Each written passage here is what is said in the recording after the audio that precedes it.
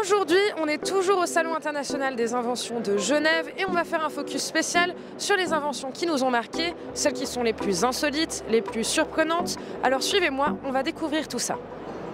Insight Media en partenariat avec le Salon international des inventions de Genève. I'm Jeannie from AID Lab. This is not a coffee machine.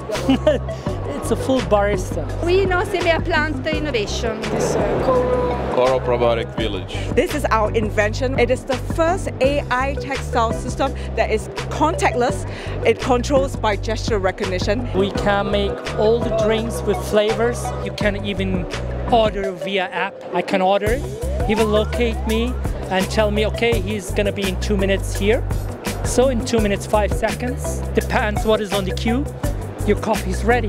N'importe qui qui n'a pas la, la, la main verte peut cultiver. Je pensais que tous les problèmes de l'agriculture hors sol, un substrat, c'était le principe des, des micropores, c'est-à-dire un substrat qui absorbait l'eau et sels minéraux. Un jour, je vis, je vis une toile d'araignée avec ses gouttes et j'ai dit voilà, euh, c'est ça la solution. On doit trouver un substrat qui travaille comme ça. And we are working with biotechnology to develop probiotics, uh, selecting the good bacteria from the corals, improve the number of these cells, and put it back to the corals to manipulate their microbiome as we have it in our gut system.